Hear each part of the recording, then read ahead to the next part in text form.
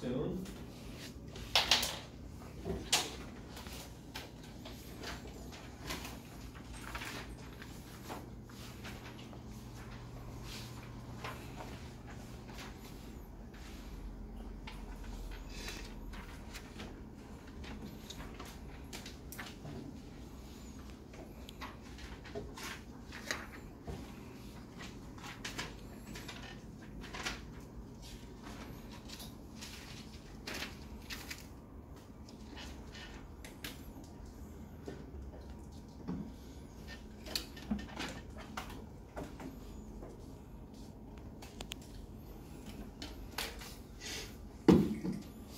Okay, let's stop. We're short on time today, so we're gonna go straight in. I wanna make sure that we have enough time to cover all the questions, okay? So let's go over the answers first, starting with number one for Old Widow Lau. So make sure you come back to the first passage. I'm gonna call out the answers, okay? One is dog, two is boy, three is boy, four is A, five is C, six is A, seven is C, eight is C, nine is boy, ten is C. Okay? Next passage. 11 is dog. 12 is dog. 13, dog. 14, boy. 15, boy. 16, C. 17, A. 18, A. 19, C. 20, dog. Okay? Let's go to the final passage. 21, A. 22, boy. 23, dog. 24, A. 25, C. 26, boy. 27, A. 28, dog. 29, dog. 30, C. 31, boy. Okay? Let's go back to the first passage now and go over explanations and mistakes that we have made. Okay? Alright, back to number one. Questions on numbers one through six. Anyone? One through six only first. Number three, anyone before three? Two. Anyone before two? Anyone on one? Sure. Wait, wait, wait. Okay. What, what, what, until number three? One through six. One through six. Do you have a question on number one by chance? Oh no. Okay, we're good. So number two first, okay? All right, so take a look up here. A main theme of the passage is that, for those of you who got number two wrong, what'd you choose for number two? Who said they got number two wrong? All right, Taylor, what'd you choose for number two? A. A, family relationships should be nurtured. So remember, we're looking for the best answer choice here, Taylor. All right, the best answer choice. Choice. Just because they allude to the fact that family relationships should be nurtured doesn't mean that it's the answer. We're looking for the main theme of the passage, right? So let's take a look at lines 50 to 51, and before doing so, look at the answer choice B. Quality is achieved. What is quality in Korean? Jin, right? Quality. Quality is achieved through deliberate effort. What does deliberate mean? Intentional, right? Look at lines 50 to 51. If we go up here, look at what it says. Jalen, okay? Can you read for me starting with you right here on line 50? What's it say?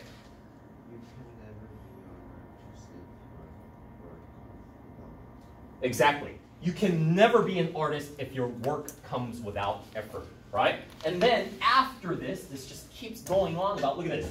That's the problem of modern ink from a bottle. They contrast the old ways of doing things, which talks about a lot of deliberate effort, with the recent way of doing things, which is just careless. Look, you don't have to think. You simply write what is swimming on the top of your brain, and on the top is nothing but pond scum, all right? What is pond scum? Do any of you know? What's a pond, first of all? A little thing of water, right? It's like a mini lake. Scum is all the bacteria and the dead stuff that's on top. So look at this. If you simply write what's swimming on the top, is that requiring effort? Is that deliberate? No, no effort. They're saying all you're gonna get is dead leaves and mosquito spawn. Got it, Jalen? Uh, but Like this is the part of the paragraph, not a passage. so- Yes, it is part of the paragraph, but show me where you see family relationships are important. Where's the focus on family relationships? Like they talked about. Show me. Not they talked about, you need to find evidence. Because we remember, but what's actually in the passage is very different, isn't it? Okay? Good? Alright. Let's keep going. Number three. Who said number three? Alright, Dongjun. Number three. Throughout the passage, the narrator is portrayed as someone who is, what do you choose for this one? A. A. Reserved around unfamiliar people. What does reserved mean? Reluctant? Perhaps. For an action, reserved means you're reluctant to do it. But if you're reserved overall, it means that you're very calm, right? You're not willing to extend yourself, you're a little bit shy, and you're careful, okay? Around unfamiliar people, we're not going to find that in the passage. Actually, look at line 22, and before we do so, look at what it says. Attuned to her immediate surroundings. What does attuned mean? Do you know what a radio is? I don't know if you guys know because you're so young, right? Um, we used to have these things called radios where you have the FM and the AM and you dial and you tune into something. Attuned means being aware of, okay? And where do we get that? Look at line 22. Let's go back here, okay? It says right here, I tried to notice everything so I could later tell Gao Ling what I had seen and tease out her envy. And then in the first paragraph as well too, we notice that she's very attuned. Look, the narrator is the main character here, right? It was north facing, quite dim inside, and perhaps this was why father did not see us at first. Even though it's dim, he or she is aware of this, right? He was busy with the customer. The narrator is watching out for everything that's happening in her immediate surroundings. Okay, good? All right, anyone on number four? Me. All right, Mr. Kim, number four. What did you choose for number four? If you got it uh, wrong. I chose C. C.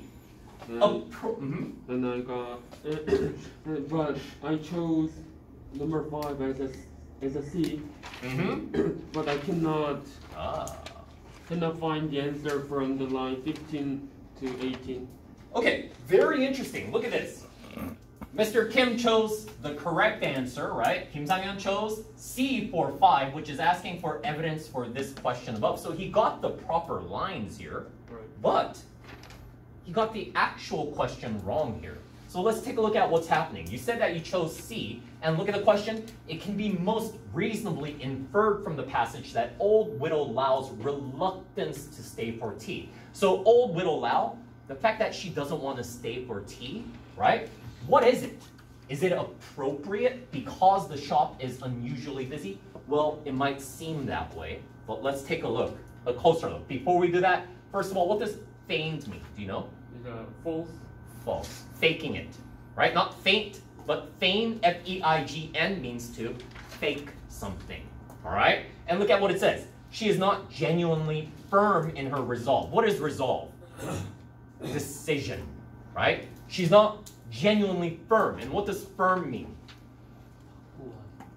Willing to go with it. She keeps changing it, all right? So we're gonna find that. Look. Which line was it, Mr. Kim? 15 through 18. 15 to 18. Okay? Let's go back a little bit for context here. They rushed us to be seated at one of two tea tables for customers. Old widow Lau refused their invitation what? Three times. Right? She refuses three times. Exclaiming that my father and uncles must be too busy for visitors. Now I know, Mr. Kim, you might be thinking, oh, how nice of her. It's appropriate. That's the right thing to do, right? They're busy, so they shouldn't stay for tea. But go on a little bit more and see what it said. She made what? Weak efforts to leave. Did she really intend on leaving? No. They're weak efforts to leave. Okay? On the fourth insistent, we finally sat. I'm sad that you guys are missing this question because me, as an American, I can miss this question. Why?